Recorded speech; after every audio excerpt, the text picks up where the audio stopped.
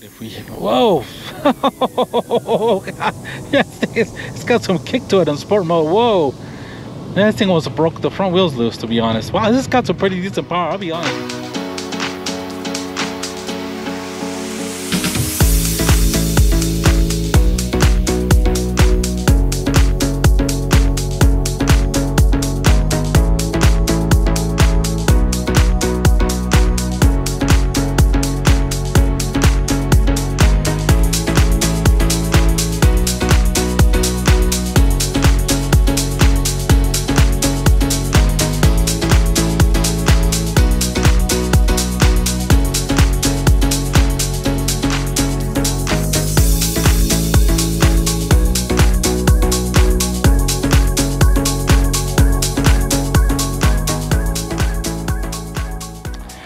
Good afternoon, everybody.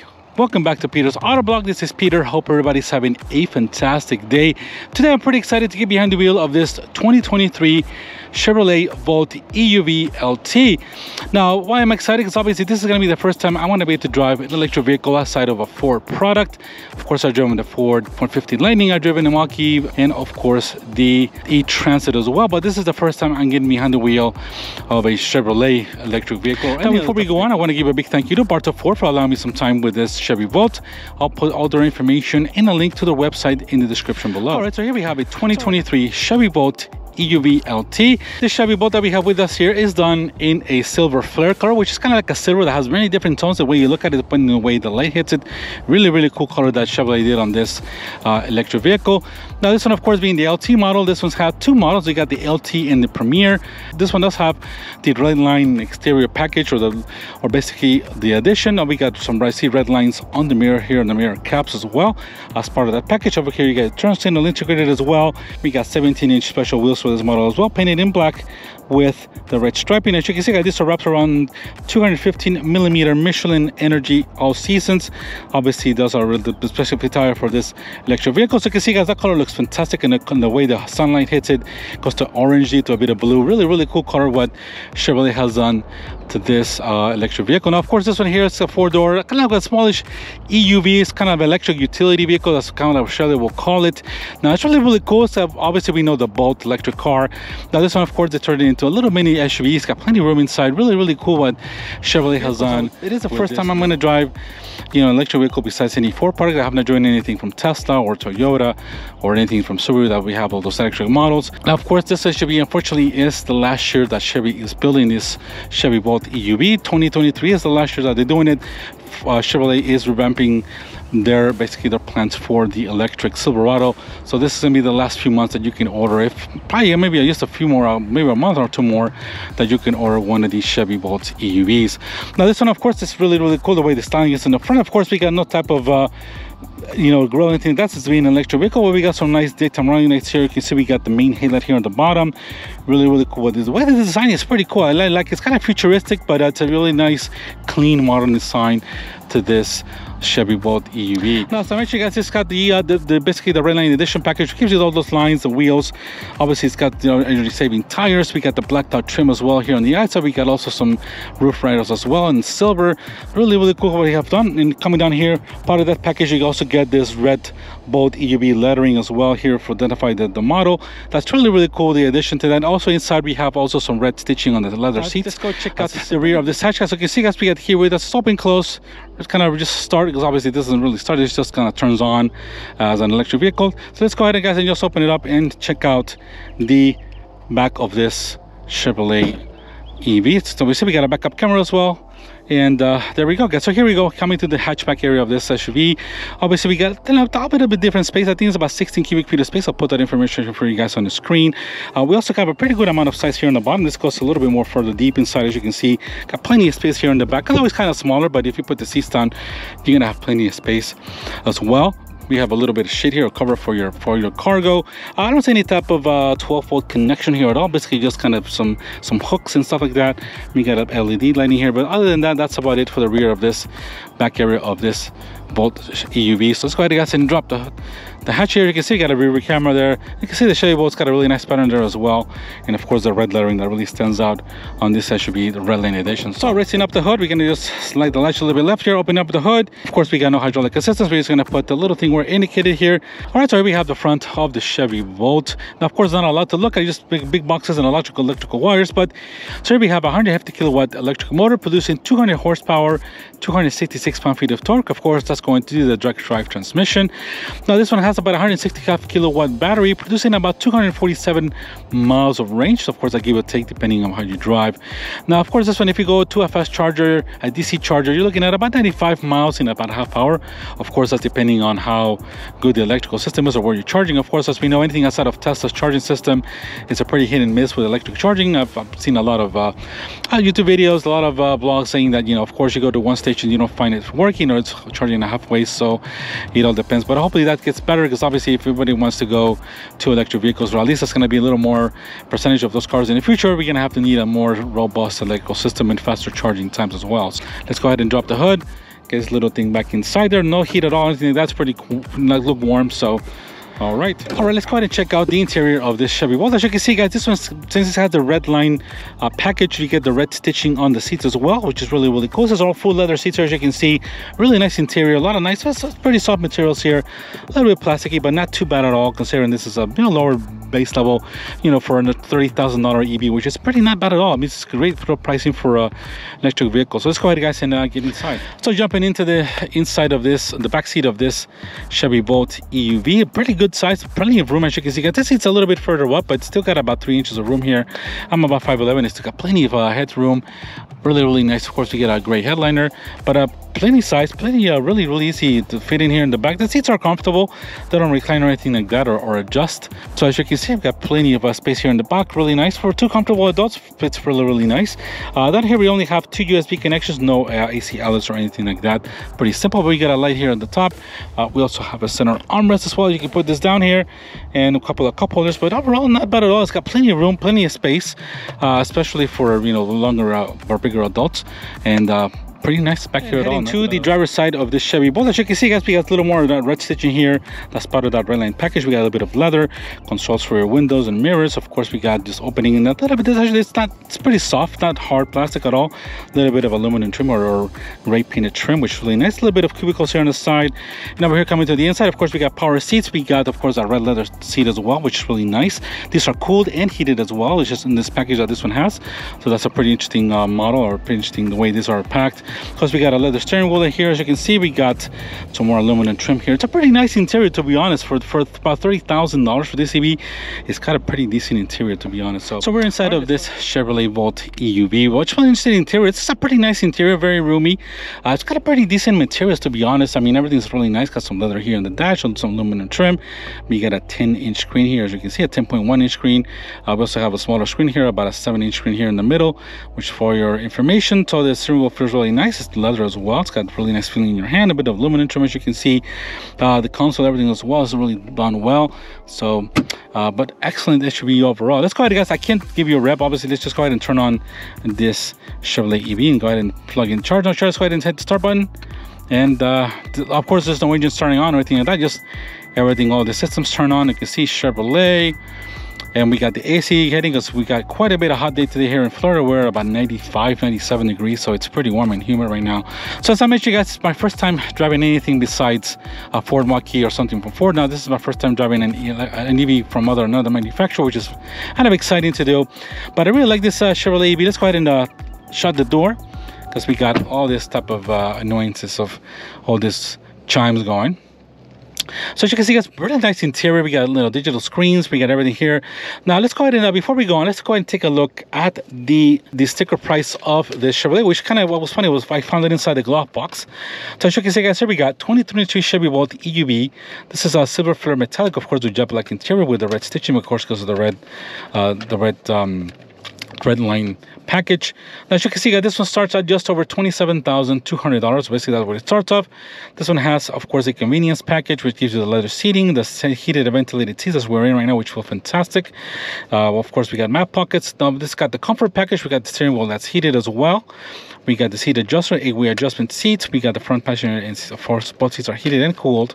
And of course we also have the red line appearance package for 495 which gives you the black interior with stitching, the red accents in the outside, the red black rear badge, the outside mirror stripe. Of course we got the driver confidence package, red cross rear cross, not red cross, rear cross traffic alert, lane change alert, and of course blind sign alert as well. For a price, a grand total price of $31,675. Now, of course, Bartow Ford's asking just under 33 for this one, so I guess they think they're still short-handed on this one, but um, not that bad. Obviously, somebody will probably get it for about asking price. It's still a brand new vehicle. It's only got 6,100 miles on it.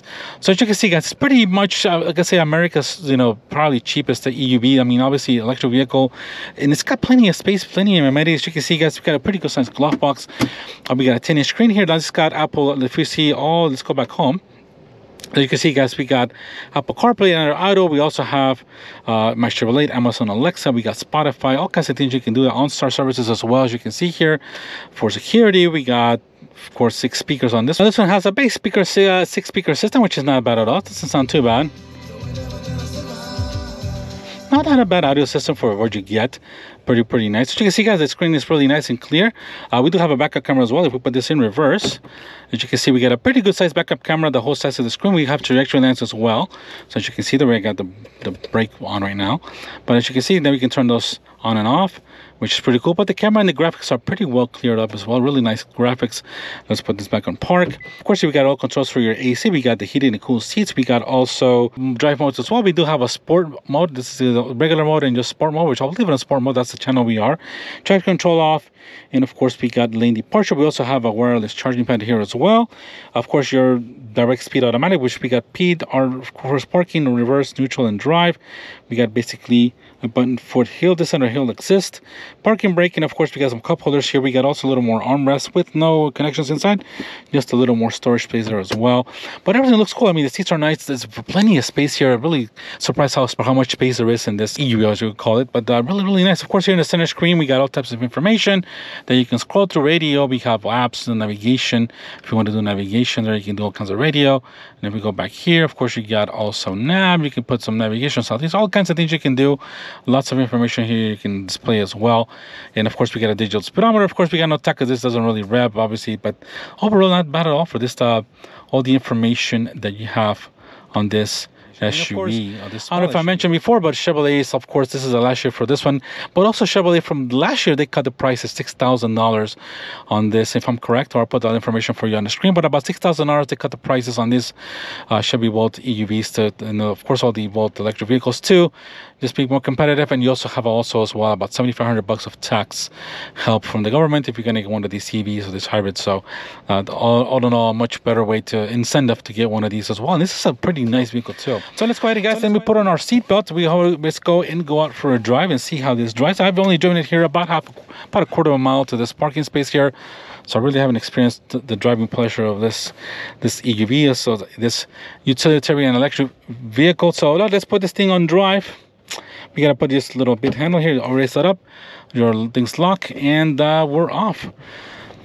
And driving this Volt EUV I would say SUV can we call this little smaller SUV so really really cool you know obviously driving this vehicle is a very quiet uh, very interesting drive considering I just drove the Audi RS5 Sportback, that's just a little monster. Uh, yeah, this is just, you know, it's a quiet vehicle, it's comfortable, uh, feels refined too. Really interesting the way this feels, to be honest. Brake pedal feels normal, nothing weird out of that, because obviously every time you brake, you got generative braking to help out recharge the battery. But it doesn't really affect it, to be honest with you. This feels pretty normal brake pedal. Let's go this way because I see some of the people are working here. So we are in sport mode.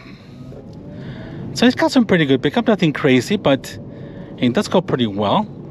And let's see how this sounds. Oh yeah, this this is a little bit heavy. You can tell it's not doesn't want to do performance or a little bit fast cornering at all. But overall, very quiet, smooth ride so far.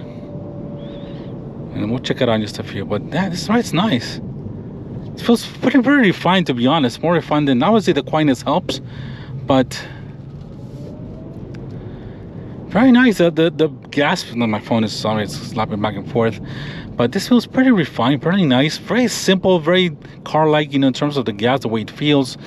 Uh, you know, of course, you got a if you let off, you got a little bit of generator braking. Oh, look at that guy, he just went all the way this way. Uh, but I'm very impressed, very impressed with this little Chevy Volt EUV. I want to wait just a little bit because obviously that guy's hitting out somewhere. Um, but wow, this is a little impressive little SUV, and especially all the electric front wheel drive. Obviously, most of these are all wheel drive or rear wheel drive, but um, man, this is pretty nice to be honest. All right, so let's get this guy go, and then let's just uh, press a little bit. Let's go. Wow, it's got some pretty good. Yeah, it doesn't, feel slow by any means. It's got some pretty good pep uh, quiet it does. I mean, oh man, it's just got it's got decent pickup to be honest with you.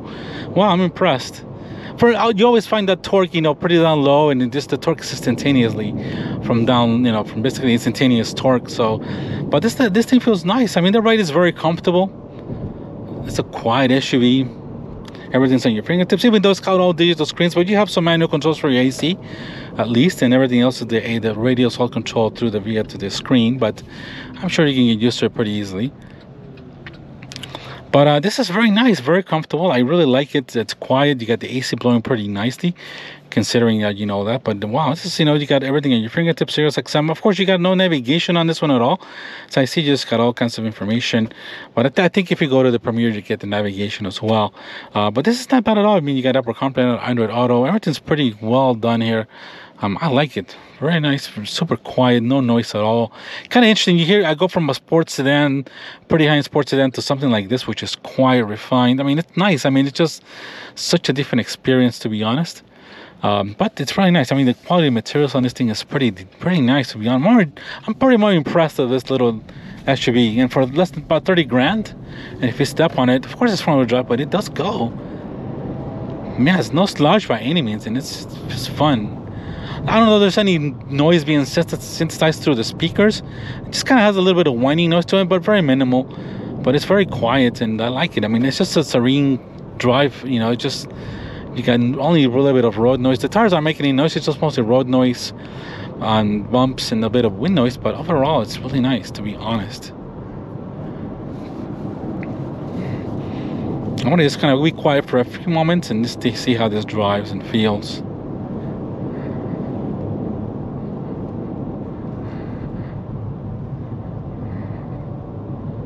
Yeah, it does slow down a little bit for generative braking. Yeah, it's regenerating right now. Obviously with the brake a little bit more. But if we, whoa,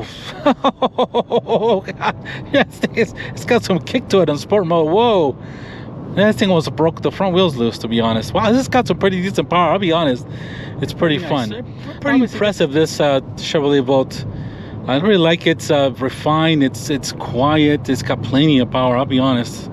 It's pretty decently quick. It makes sense. I mean, obviously for less than you know, this one they're asking about 33,000, 32,000. So still except pretty much got a lot of options except for navigation, I would say, or the Premier model. But this is a pretty well loaded model. Uh, it's got heated cool seats, all that stuff. You know, as I mentioned. So I really like this uh, this Chevy Volt to be honest with you. So much better than I expected. I feel, of course, maybe the Mach-E is a little more refined, a little bit quicker, uh, a little more playful in the terms of the handling department. But that's still it's probably a little bit heavier as well. But this thing is not bad at all. I mean, I'm pretty impressed with this SUV. Let's see. Oh yeah doesn't want to yeah obviously this is heavy. It's about 3800 pounds but it does go. I mean just get up to go and see you can see whoa. He easily gets up to speed very easily. Very nice very smooth as well. You can't feel the shifts. Obviously it's direct. There's no shifts but sorry about that. But yeah just super smooth very nice. There's a little bit of road noise but uh, other than that wow very impressive for this little electric SUV for the money yeah refined yeah, you got a pretty much a bang for your buck. I really like this. This is pretty nice, especially for a city. 247 mile range, seen a lot, but that's pretty good. What basically what the Ford Mach-E gives you. It's obviously from a drive a little bit smaller, a little bit taller. Might say a little more practical, I may say, but about about the same. But great little vehicle overall. Oh man, then we have a cop. Hopefully, he sees me. I don't have a I don't have a rear plate, but hopefully not. But uh, yeah, guys, let me know what you guys think of this SUV. I mean, it's pretty nice. It's a hell of a nice car. For the thirty thousand dollars, you're looking at this uh, SUV. Can't go wrong with one of these at all. I'll be honest. So, uh, all right, guys, if you guys like this type of content, please subscribe. I want to thank every one of you guys to have me that helped me uh, get to 1,000 subscribers. And uh, we're, we're past the mark. Thank you so very much for everybody that has subscribed. I really appreciate it. So we're gonna get to do more content as of lately we i'm just trying to be, in, be probably moving very soon. So i'm gonna be busy with that but i'm trying to get to some of these videos as soon as i can for you guys. And uh, hope you guys been enjoying them. We're gonna get definitely more content coming up in the next few weeks. So but um very impressed guys just uh, in conclusion very impressed with this chevy ev uh, i really like it uh, let me know what you guys think um, yeah, for thirty-two thousand dollars, quite a bit of uh, quite a bit of SUV to be honest. It's a smallish side, not for everybody, but if you want an electric vehicle for in town, for the city, man, this is pretty nice to be honest. I, I really really enjoy, been enjoying this uh, Chevrolet EV, guys. So. Than I was expecting to do so, but a really cool car from from Chevrolet nonetheless. Absolutely, and the cool seats feel nice too in this Florida weather. Do we have a thermometer here? I don't see one, but um, definitely it's gonna be at least 97 98 degrees outside it's so hot here in Florida especially with this uh this GoPros they tend to overheat so I gotta stop and this thing just shuts down on me so